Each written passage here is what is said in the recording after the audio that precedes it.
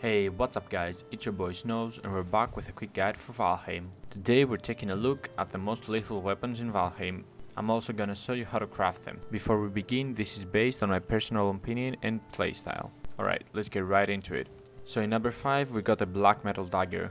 This is a monster of a weapon, don't get me wrong, but without its secondary attack, which I've made an entire video about, link in the description, the damage you output diminishes fast, but if you're going for a stealth approach, this is the weapon to go. This bad boy will one-shot everything you want. To craft it, you will need 4 fine wood, 10 black metal, and 5 linen threads. To get fine wood, simply cut down birch trees. To get black metal, you will need to go to the plains and kill the goblin creatures.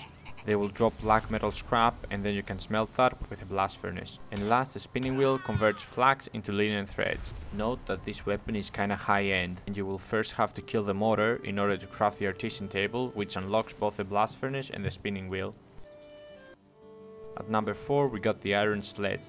This weapon is very similar to the Stagbreaker but it does way more damage. It can be crafted after you kill the Elder and get the key to the Sunken Crypts. This weapon does 73 blunt AoE damage when fully upgraded and that's why it takes the number 4 in this list. I really like this weapon but I prefer using a one-handed weapon with a shield.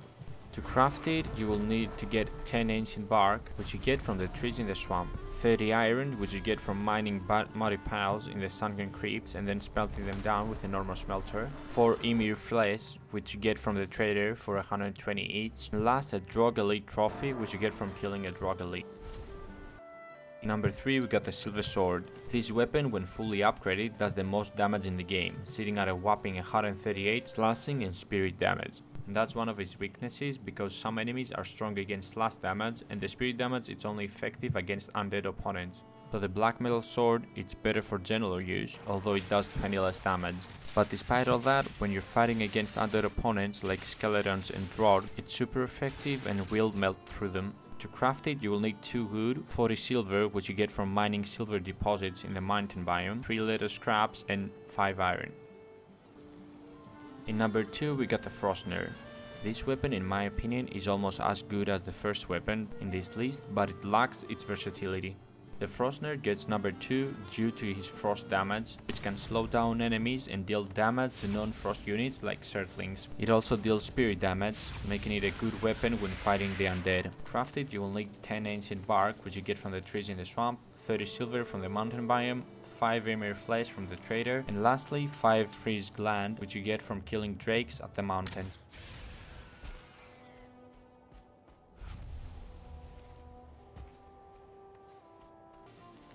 And for number 1 we got the porcupine.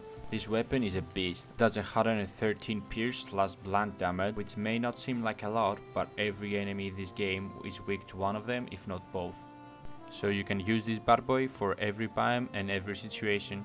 Another bonus is that it's only one-handed, so you can use a shield with it. To craft it, you'll need 5 fine wood, 20 iron, 10 linen thread, and 5 needles, which you get from killing the mosquitoes in the plains biome. Just be very careful when you face them, because they do 90 pierce damage. A good strategy is to wait and parry them with a shield, and then hit them with a fast attacking weapon, because their HP is really low. Or, when they're going in for the hit, shoot them with a bow.